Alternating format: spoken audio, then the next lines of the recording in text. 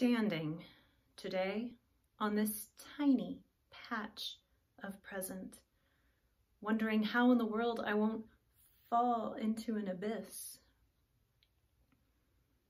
The road of the past is gone, leaving me marooned in two ways. Can't go back, can't go forward either.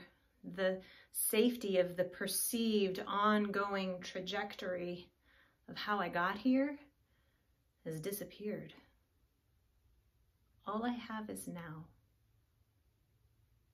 My inner self breathes a great sigh of relief, even as my mind fights the fear of loss of control.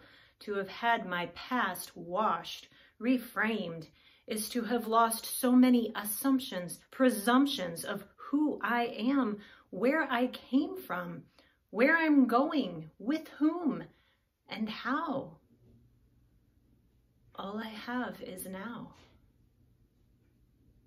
How can I step forward off this tiny patch of present without a script, without any expectations, pre-planned visions, with nothing to guide me but trust that tomorrow I will appear again in tomorrow's merciful present day by day discovering what my life is becoming.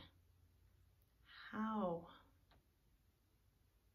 this tiny patch of present is truthfully all I've ever had. It actually feels much bigger, more stable now, without the weight of the predefining past or the front-loaded pressure of a predetermined future. Now I see, understand the relief.